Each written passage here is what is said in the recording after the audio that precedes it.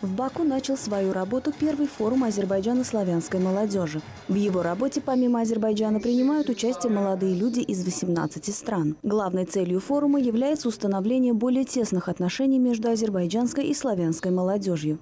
E,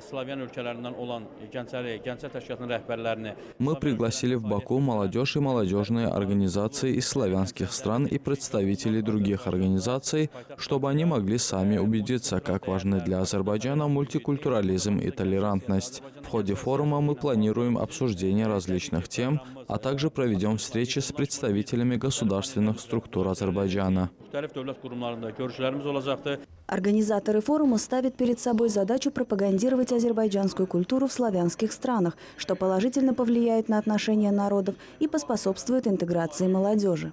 Самая главная задача форума – это коммуникация, чтобы ребята познакомились друг с другом и поняли, где их точки соприкосновения. Мы со своей стороны готовы поддерживать проекты и в России, и здесь по э, мере своей возможности. В ходе форума, который продлится до 24 февраля, Ассоциация азербайджанско-славянской молодежи планирует делиться своим опытом поддержки молодежи в Азербайджане и реализовать свои успешные проекты в славянских странах. Лейла Визирова, Эльвин Гаджиалиев, CBC.